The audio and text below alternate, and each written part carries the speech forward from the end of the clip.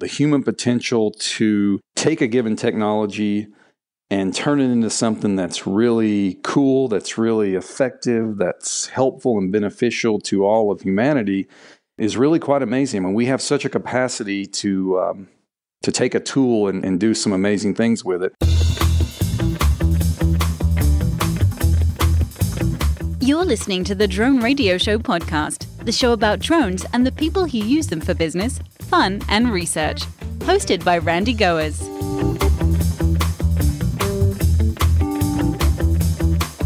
Hello, everyone. This is Randy Goers, and welcome to the Drone Radio Show podcast, episode 63.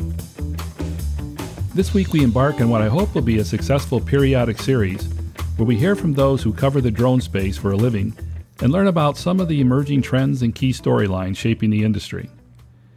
It's my hope that we'll pick up a different perspective on the pulse of the industry and gain some new insights. On this first edition of Stories of the Drone, we have Jason Reagan, a communications professional with 18 years of combined experience in communications, news, marketing, and information technology. Jason is a blogger and a self proclaimed geek evangelist in the area of emerging tech and science. He currently works as a corporate communications director for a company in Boone, North Carolina, and he's a regular contributor to the online magazine Drone Life. He's here to talk about recent stories about drones and law enforcement conservation, the drone deterrence industry, FAA enforcement, and the humanitarian use of drones. Let's pick up the interview where I asked Jason to tell us about himself. My name is Jason Reagan. I'm a communications specialist. I've worked as a journalist for 16 years and I specialize in freelance tech writing now, and I also have a day job here in the beautiful mountains of North Carolina as a corporate communications director. What are some of the key responsibilities of a corporate communications director? Well, basically, I'm ex- I'm responsible for the uh, external and internal communications for basically what amounts to a local private resort slash private community here in the mountains, which we have a lot of. I live in Boone, North Carolina. We're just down the road from Appalachian State. We have quite a few second homeowners and things like that. So my job is to ensure that our members are getting quality communication and then we're also communicating in an innovative way to the greater community outside. Now, you also write for Drone Life as well. Can you talk about how that association came to be? In 2014, to be honest, I knew very little about drones. I knew primarily what I would hear um, in the news, and, and of course, that was mostly dealing with military rather than commercial drones.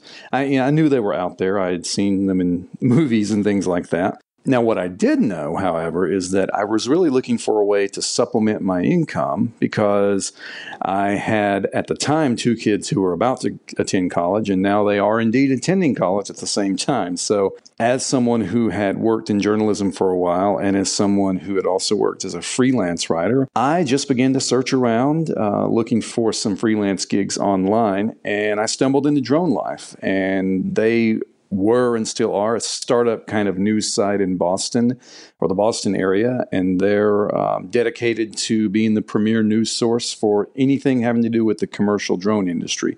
So they really don't deal with military applications and the issues that come out of that, but more the the growth and the issues that have emerged from the rise of the commercial drone uh, industry. So I began to write a few blog posts per week at that time. And as I've uh, increased my knowledge about drone technology, I've become more involved in writing with them and, and becoming more really of a, of a freelance partner with them and uh, sort of someone who can, you know, talk about ideas with the editorial staff. And then on my own, I tweet about drones and other various tech sectors. Uh, it's something I'm very interested in. I'm one of these kind of people who I'm not really knowledgeable about the technical details of emerging tech, but I love what they do. I love to see the uh, the outcome and the effect and that sort of thing.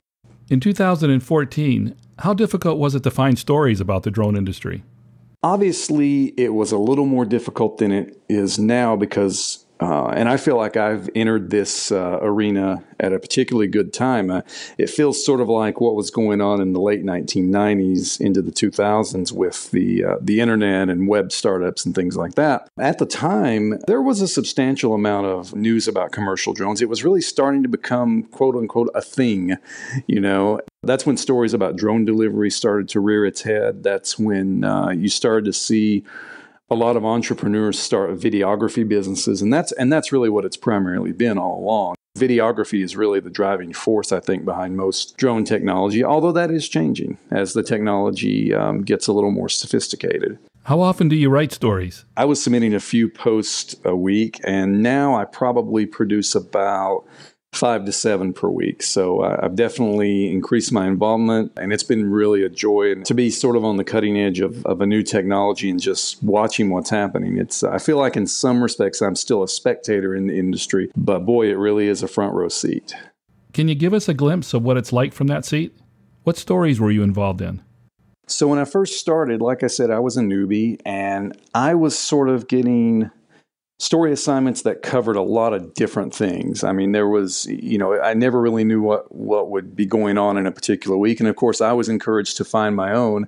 I think at the time, though, and it was certainly understandable that the editorial staff sort of spoon fed me the ideas like here's a thing that we're looking at go cover it and then as uh, things progressed and evolved i began to be able to and i'm still able to sort of set my own tone and choose what articles I cover uh, without any real oversight. And so at the time, like I said, I was just doing a lot of different things. I was very much a generalist. I started getting into the startup market because that was what it, what was exciting to me is covering these small firms that were starting to gradually grow and gain startup capital and get funded. And so that was exciting. And also to see how drones were used in so, so, many varieties of uh, industries, agriculture, uh, infrastructure, inspection, real estate. I mean, you name it. Is there a topic that you're focusing on or that seems to be rising to the top these days? Primarily, what I'm doing now is I'm covering uh, how public safety agencies are, are using drones in the area of security, police, fire departments, things like that. And what's really been interesting is how this is really a worldwide phenomenon. It's not something that's primarily just happening in the US. You're seeing it in a lot of other countries. Great Britain, been in the news a lot, and you're seeing them use drones more in police work and border patrol and things like that especially stemming off you know the vote to leave the European Union that has some implications in terms of border control and we're seeing a lot of drones used in India to police large scale gatherings. You know, one of the things that you see a lot of in India is they have a lot of festivals which draw thousands upon thousands of people. And the government is, is particularly interested in using drones for crowd control and to watch out for security concerns, things like that. We're seeing it really in just about any country you could think of. They're all really looking to uh, enhance their police capabilities and get a handle on emergencies and large fires and chemical spills and anything you can possibly imagine. So it's very exciting. Tell us about some of the stories that you've covered that really sparked your interest. Oh, absolutely. I mean, it, for me, the real joy I get is seeing how drones are used to literally save lives. Uh, one of the stories I recently covered um, was about a teacher, um, I believe it was Ohio or Indiana, Midwestern state, and she was missing, possibly as from a medical condition. And the police, you know, they looked and used the standard methods. And then uh, one of the neighbors in, in the area said, Look, I've got a drone and let's put it up and I'll be happy to help you find her. And boom, almost immediately after launching the drone, they were able to locate her. And that's not that uncommon with police agencies that use drones. That's one of the the best uses because in the past, when you have a small, maybe a rural town or, or small city type of police agency, you know, if they want to do a search or if they want to get a handle on a situation, they would often have to requisition a helicopter from maybe the state police or some other agency. And so they're losing a lot of time. They're losing daylight if it's a, if it's a rescue operation. And with a police drone, they can uh, simply take one of their trained officers, put him in the field, put the drone in the sky, and before you know it, they really have a good handle on you know any kind of emergency situation. Are you seeing more stories about drones being used for search and rescue? I'm seeing it on an increasing scale, absolutely. And um, if you go to Drone Life and you search for something like rescue or search and rescue or something like that, you'll see how how it really is being used to find missing persons and, and to rescue people who are maybe in a precarious situation. You know, for example, a hiker who may have fallen. I mean, you look at an example, um, you know, a few years ago and I'm going to really garble this, but there was the movie that starred James Franco about the hiker who got stuck, I think, in New Mexico or Utah. You remember that? Uh, you fast forward to today, obviously people didn't know he was missing for a while, but as I understand it, the rescue workers had to really travel a great distance to find where he was, uh, you know, from the main road. So you have a drone in that situation, you could definitely uh, cut down on the rescue time. So that is something that's increasing. A lot of agencies are asking for permission from their various governments. I know the uh, government agency in Vancouver that does search and rescue is asking the Transport Canada, which is the equivalent to their FAA, for permission to to use drones in maritime rescues, search and rescues in bodies of water and things like that. So it's definitely something that you're going to continue to see. You're going to continue to see drones literally save people's lives. Do local governments have the authority to use drones if they want to? Or do they need to get FAA approval first? Well, I mean, it's interesting that uh, definitely in the past with FAA exemption application rules, each police department or public safety agency would definitely have to get permission from the FAA or if it's in Canada, Transport Canada, or um, you know Brit- Britain has their own version. I mean, every nation has their own version of the FAA, FAA, and they have varying degrees of uh, regulation. So obviously, that's something they're all going to have to do. And I haven't actually ran into any situation where you have a public safety agency that just jumps in and, and then has to back up because the FAA, you know, maybe kind of slaps their hand and says no, no.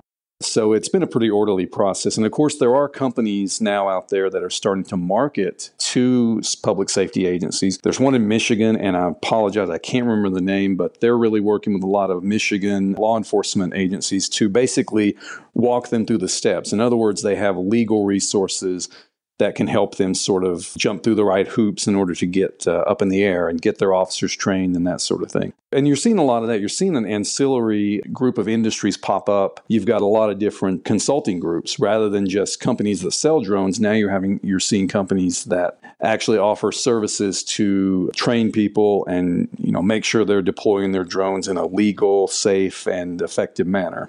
What other stories strike you in terms of where the industry is going? Well, for one thing, I think you're starting to see more entrepreneurs enter the game. You know, you really just have to have a drone and make sure you're following FAA rules to um, to get into the game. You know, I live in a, in a relatively small town. In, in this western North Carolina county where I live, we have a population of about 40,000 people, and about 12,000 I would suppose would be college students. So it's a it's not a huge area and I can name two or three small business owners who have dropped into the drone industry. There's a guy named Jordan Nelson, I think he's at nelsonaerials.com Jordan's a younger man. He actually gained some 15 minutes of fame recently. He was featured on uh, the Today Show because he and his fiance or his girlfriend at the time hiked to the top of Grandfather Mountain, which is just an amazing, breathtaking mountainous area here. Beautiful place to hike, beautiful views. He gets up to the top of this huge boulder type rock formation and he sets his drone on autonomous his girlfriend doesn't know what's going on, and he proposes to her while the drone films it. And that got some viral mileage. It got featured on, I think, Good Morning America and the Today Show. So, my point being, you know, even in a small area like this, we're seeing three to five different small firms that are uh, getting into the drone business, especially with videography and things like that. So, I think that's one trend. Another area that I'm seeing real growth in would be what's called the anti-drone industry or the drone detection industry. And it's sort of a you know every action has an equal but opposite reaction. And that's sort of the case with the anti-drone industry. So the idea behind that is to create and deploy certain kinds of technologies that will actually either knock a drone out of the air if it's in an unauthorized area, take control of it basically, or jam its signal. Because as you know, you know, drones are controlled by, in general, radio signals or in some cases Wi-Fi. So that's the object of a anti-drone uh, solution is to make sure a drone is not where it's supposed to be or is not in the area that it's supposed to be in. Most drone operators, most drone owners and users and pilots, they're responsible They understand the rules. They're not interested in causing anyone any harm. And like any situation, you have the few rotten apples. And that's what you're seeing uh, with a lot of the headlines. You're seeing headlines where supposedly uh, you'll have a drone that almost hits a jet. Uh, you'll have a drone being, you know, near an airport where it's not supposed to be. Or, and in some cases, those are valid, actual happenings. But but we've also saw, to be fair to drones in general or the drone industry in general, a lot of times it turns out not to be the case. Uh, and we cover that somewhat in drone life. While there are valid complaints and valid incidents, there are also a lot of incidents where people end up crying wolf. They think they saw a drone, but they really didn't. So the anti-drone industry is is a natural outcropping of the growth of drones, and you're talking about a lot of different solutions that these companies are offering. For example, there's a company called Battelle. They've created somewhat of an anti-drone rifle, and that that's not what it sounds like. It's not shooting drones out of the air, but the rifle kind of resembles, I guess, the cross between a standard rifle and kind of a grenade launcher or something like that. It can be shoulder mount, mounted, and you can point it towards a drone, and it'll release you know signals that'll basically kill the drone. There are other solutions where you can have almost like a hacking sort of situation where you have a product that can actually take over a drone and land it safely. There are also solutions that can help identify a drone so that it can be reported to the FAA you know, it is a valid concern. It is a valid concern to make sure an errant drone is uh, is away from an area where it's not supposed to be, and make sure they're not in an unauthorized place. So, so that certainly does have its place. So we're seeing that as sort of a response to some of the more miscreant type of drone users who are kind of making it, spoiling it for everyone else. From the research you've compiled, how effective have these anti drone solutions been so far? You know, I think it might be too early to tell because I, you know, I'll be honest, what I tend to be covering are companies that are just coming out with products. It's an early adopter kind of phase. It's uh, a lot of them they're in prototype, but they do seem to work when they're tested. Um, I just wrote an article called, you know, five anti-drone solutions that are uh, sort of at the top of the market right now. And I think it's too soon to tell whether or not they're going to be overall effective. I'm sure it'll be like any growing industry. You'll have some companies that will crash and burn. You'll have some that'll emerge as the, you know, the Googles and Amazons of, of the anti-drone industry that'll really offer quality products. It's really going to be difficult to say, I think, until you know we've had this sort of time to test the waters and see how how things work but i think it does look good i think that it's a natural evolution for both drones and anti-drone products you're going to see more and more innovative products. They're going to get more sophisticated, and it's going to be a Darwinian process where you'll have the good, the bad, and the ugly, so to speak, and uh, the good will rise to the top. Do you know if anyone's working on a force field type deterrent that'll either zap a drone out of the sky or prevent it from entering the airspace? There are some products like that that create sort of a fence. In fact, there's an Israeli tech firm that they're looking to create sort of a virtual Dome, and of course their product's called uh, Drone Dome. And it's basically built as sort of this end to end defense solution that's supposed to be able to detect, identify, track, and neutralize drones.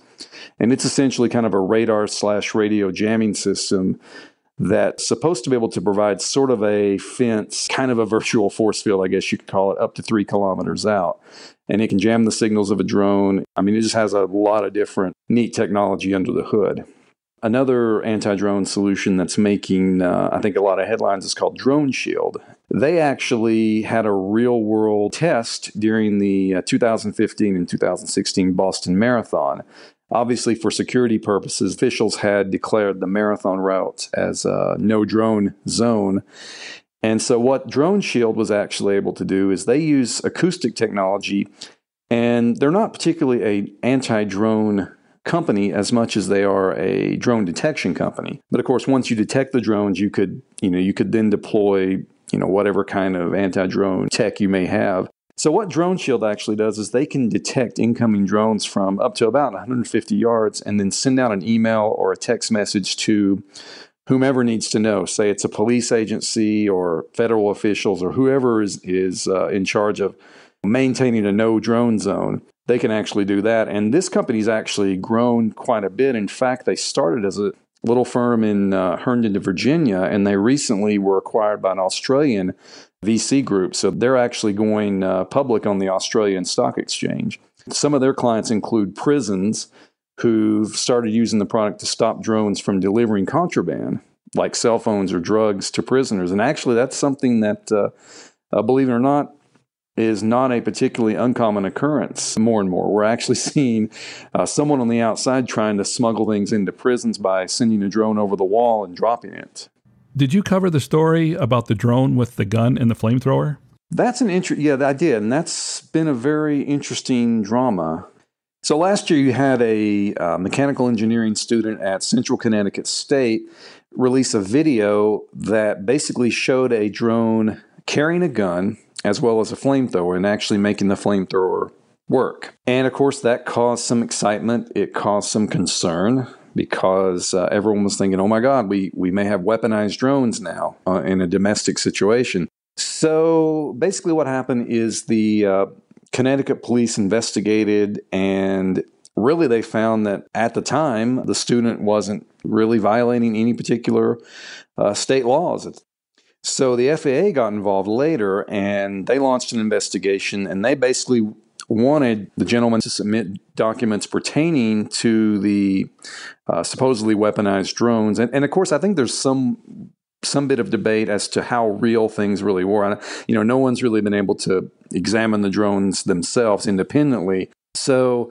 uh, right now, the uh, in the federal court system, and the FAA is contending that the uh, father and son basically built or operated the drones carrying weapons, and they're contending that obviously there's a capability of causing serious injury to someone or their property or, or something like that. So it's a very interesting case. And I think that not to not to be an alarmist, I think that uh, like with any technology, there's going to be misuse, and I think that most people would agree that it's not if or when that a drone could could actually be used in some kind of you know explosive situation or, or someone actually weaponizing a drone in a way that causes real harm to people. It's I think it is going to happen, and I think that's why the industry has to work with the FAA to come up with solutions that uh, aren't heavy-handed.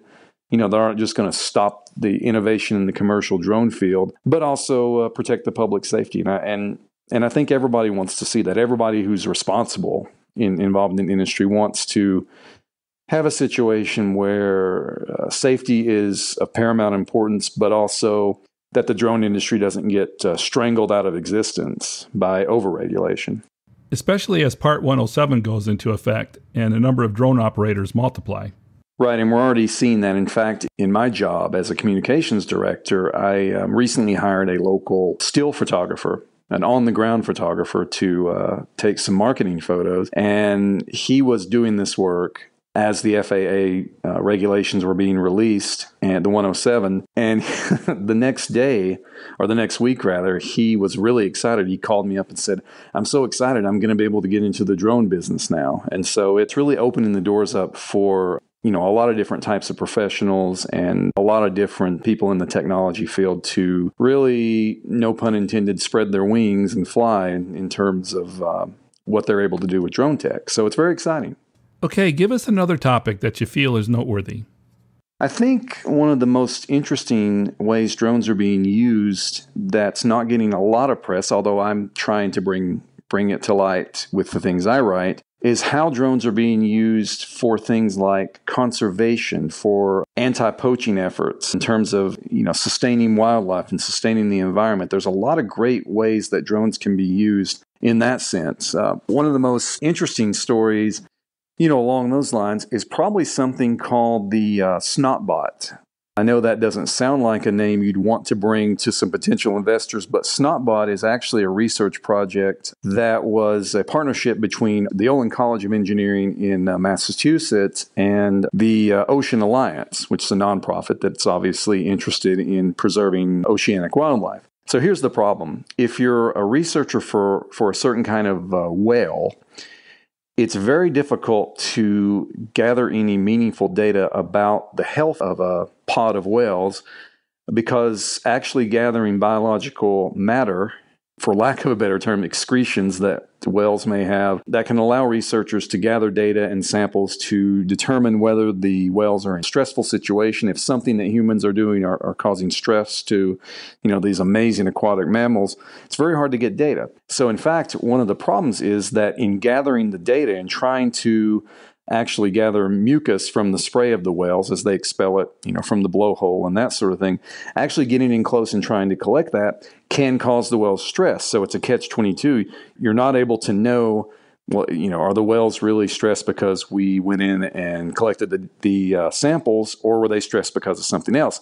So that's where the SnotBot comes into being. So basically, the SnotBot concept is to send a small drone that doesn't make a lot of noise, that's not intrusive, that's uh, a much greater advantage over a helicopter or an airplane, which can be expensive and dangerous, to go in and basically gather up the, uh, let's just say it, snot, and bring it back to the researchers. And that allows them to uh, obviously get better data and they can uh, predict the behaviors of the whales, find out if there's any problems. It's kind of like trying to give a, a medical physical to a whale without actually the whale knowing what's going on. How does it do that? I somehow have this vision in my mind of a drone carrying a large Kleenex, trying to get a drone to blow its nose. Well, I mean, it's, uh, I guess in a sense, it kind of works that way. I mean, what they can do is they can actually add a payload to a drone. And specifically, right now, DJI, as you know, they're the, really the world's biggest manufacturer of drones.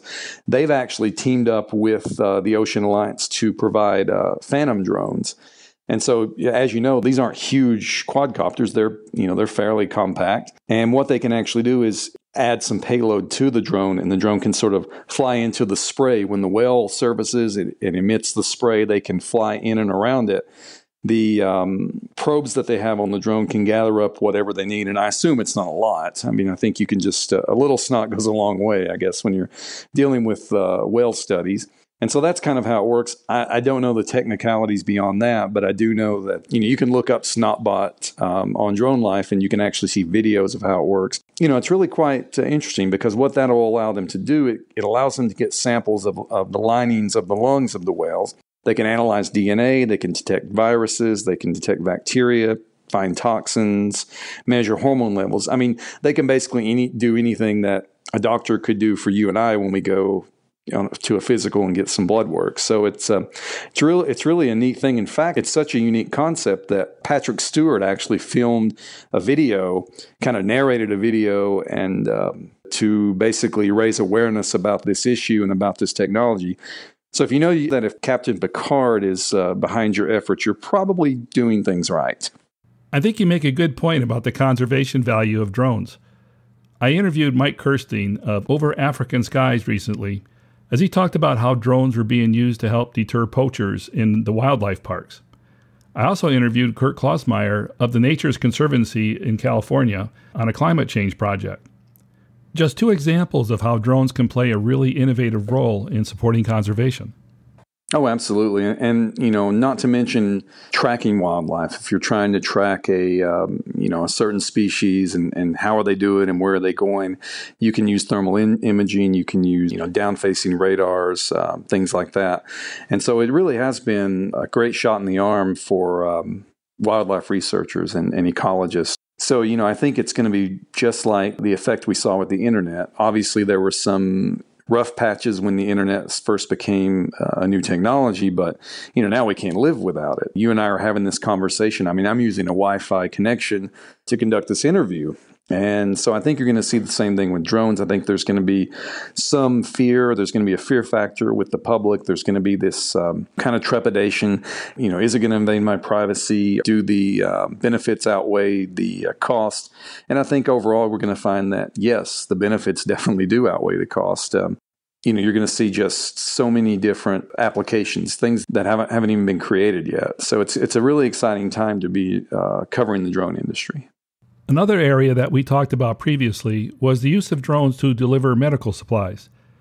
You've done some stories on that as well, right? That is right, and that's an, and that is another way that you can uh, use drones for humanitarian efforts. I mean, you can envision having to get supplies following an earthquake, for example. Uh, and I know that in Nepal, when they had the earthquakes um, not too uh, long ago that drones were used. I know some agencies in India actually loaned out some drones, and they were not they were not using them for payloads. They were using them to basically get a bird's eye view of what was going on and assess damage and find uh, you know any possible victims who may be stuck. But delivery is not far around the corner. Of course, the you know the challenges you face with drone delivery is you have to have a powerful enough drone to be able to carry you know whatever payload you need and and as you know watching quadcopters you know the kind that are consumer level at least you're, you're not going to be able to carry a whole lot with them uh, you know, maybe a half a kilogram or something like that or less, definitely, or maybe even just a kilogram. So that's definitely a challenge. You're going to have to have larger drones. You're going to have to have drones that are able to be fueled by something other than lipo batteries so you know, there's there are certain innovations right now. I know um, Drone Life's covered a few stories where people are looking at hydrogen cells to power drones, and so you know we're going to have to have some breakthroughs, I think, in overall power cells for drones before we can really get to some really serious type of uh, drone delivery. But we are seeing it, and we know Amazon's demonstrated it that it can be done. We do know that medical supplies can and are being uh, distributed in some cases across the world.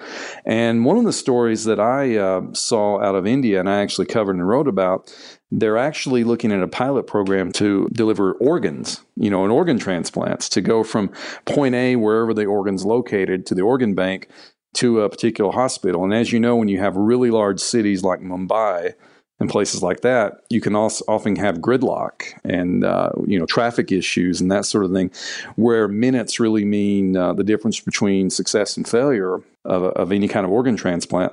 You know, it makes a lot more sense if you could actually put the organ into some kind of uh, carrier or something like that, attach it to the drone, and um, you know, I think you could even get to the point where it would even be autonomous. You know, you could program by GPS where the hospital is, where it needs to land, and uh, much like an Amazon drone delivery product, it would just be done maybe in a matter of minutes, depending on where the uh, you know where point A is from point B. So that's very exciting. I mean, that again, another example of where drones can save lives.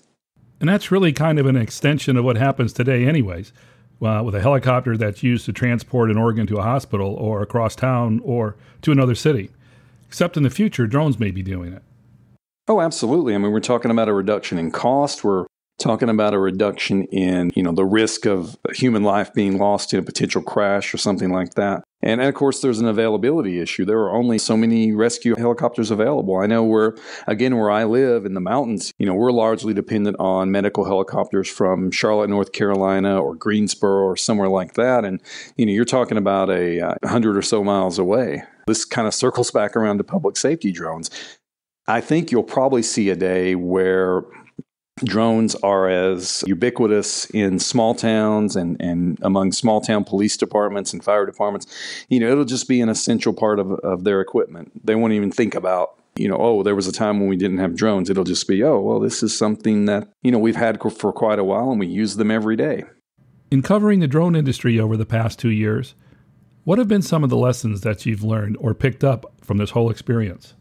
I think I've learned that the human potential to take a given technology and turn it into something that's really cool, that's really effective, that's helpful and beneficial to all of humanity is really quite amazing. I mean, we have such a capacity to um, to take a tool and, and do some amazing things with it. Not to get too philosophical, I mean, that's sort of what we are as a species. We're the animal that can use a tool. And, you know, you go back to fire up until the automobile, to the computer, to the drone. And that's just what we've always done as humans. We've always been able to take an idea and turn, make it a reality and take that reality and actually make the world a better place.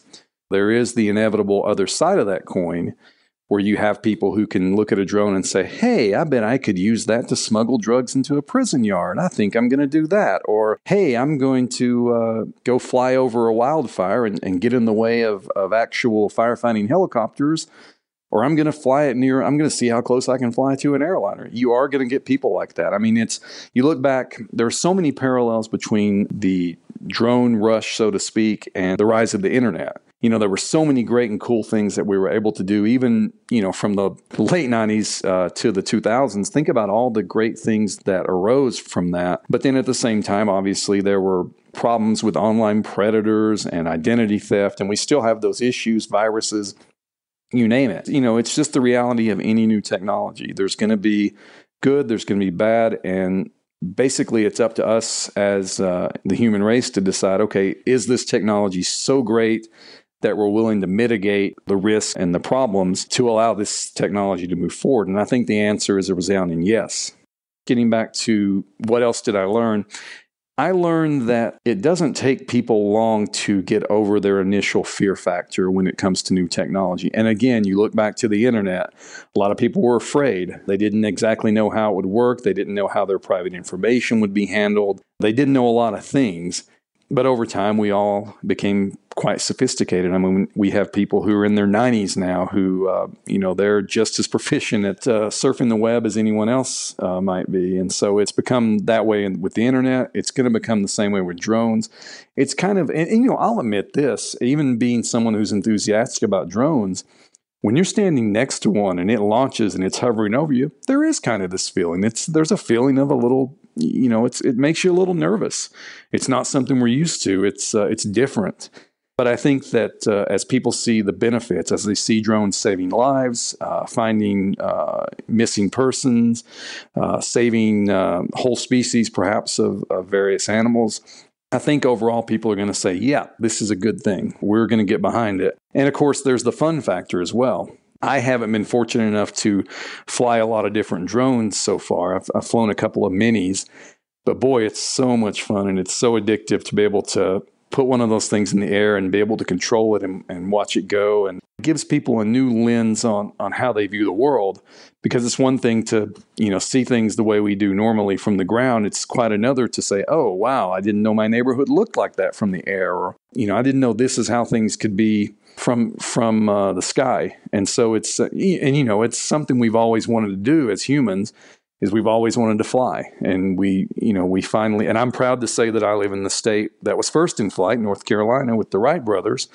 And ever since then we've all wanted to kind of be a part of that and with a drone and especially as drones begin to be integrated with virtual reality goggles and things like that it's going to make flight you know, almost a normal thing at least in a virtual sense so I think that's what I've learned is the fear factors there. And I've learned that Again, going back to the anti drone situation, again, for every action, there's an equal but opposite reaction. And that's uh, anytime you have a new industry, you're going to see other industries pop up. And that's a good thing. From an economic standpoint, that means that, you know, maybe I'm an attorney and I can become a specialist in drone law. You know, that's expanded my practice. It's made me someone unique or maybe I'm someone who's you know really good at using things like the Raspberry Pi type computers to come up with an anti-drone solution, which that's happening now too. You're getting um, white hat hackers who are able to come up with uh, drone jamming solutions, and they're not out there jamming drones and doing bad things.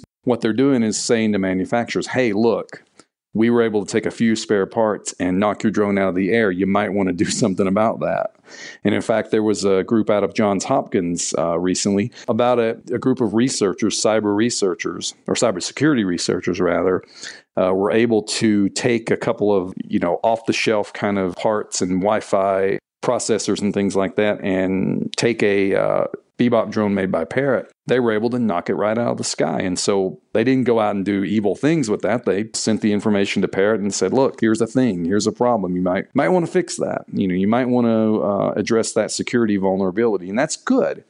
You know, that's good that that you've got sort of the yin and yang, so to speak, of drones with the drone sector and the anti drone sector because they can each work to make the situation more stable and make everything work more in harmony so that we do have responsible drone users out there and we have drone companies that are making drones that aren't susceptible to security problems.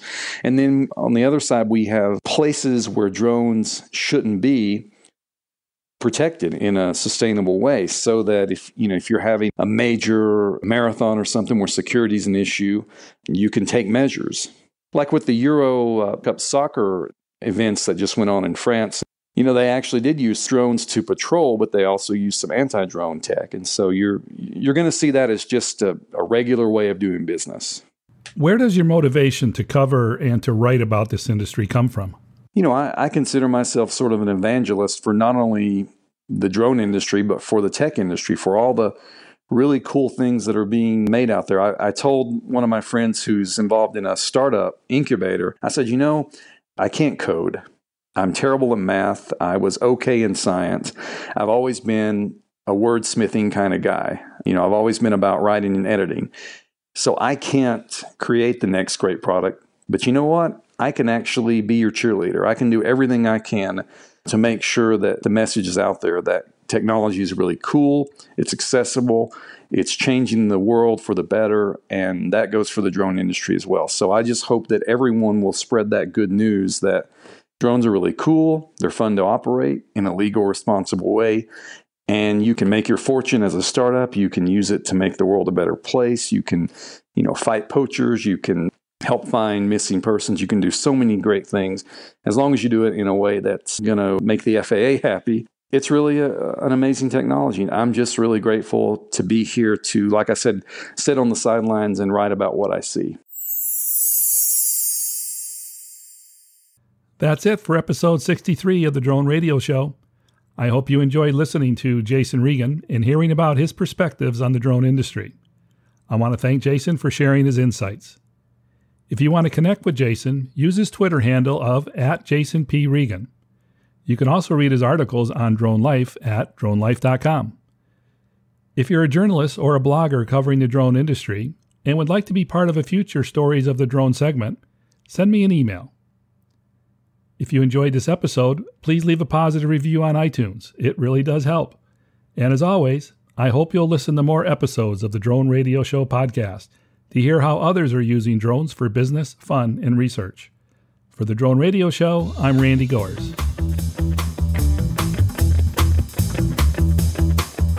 This has been the Drone Radio Show podcast. More information on today's show can be found on our website at www.droneradioshow.com. If you're using drone technology for business, fun, or research and would like to share your experience on the show, please visit our website and fill out a guest appearance application. And don't forget to follow us on your favorite social media channels.